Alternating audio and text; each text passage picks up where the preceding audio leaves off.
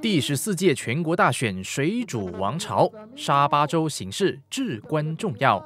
国政主席拿督斯里纳吉接连两天在沙巴助选，星期一在古达向选民大派定心丸，扬言国政胜选必定加倍照顾沙巴子民之余，也大力抨击两名曾经是国政领袖的拿督斯里沙费义和拿督斯里拉金是政客，是青蛙。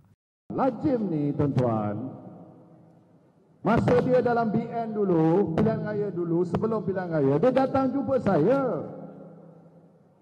Dia sebelum itu, dia nak jadi menteri. Tak dapat jadi menteri. Lepas itu, bila dekat dengan pilihan raya, dia beritahu saya, dia datang jumpa saya. Dia kata, Anwar Ibrahim akan menang, dia kata. Ikut perkiraan dia. Saya kata, Rajin, macam mana pun BN akan menang. Tak. No. I'm sure Anwar will win, dia kata. Jadi dia terjun kapal. Sebab apa? Sebab dia nak kepentingan diri dia. Syafi'i pun kerana cita-cita pribadi tak tercapai. Nak jadi ketua menteri, sabar. Nak jadi timbalan Perdana Menteri, tak tercapai terjun kapal.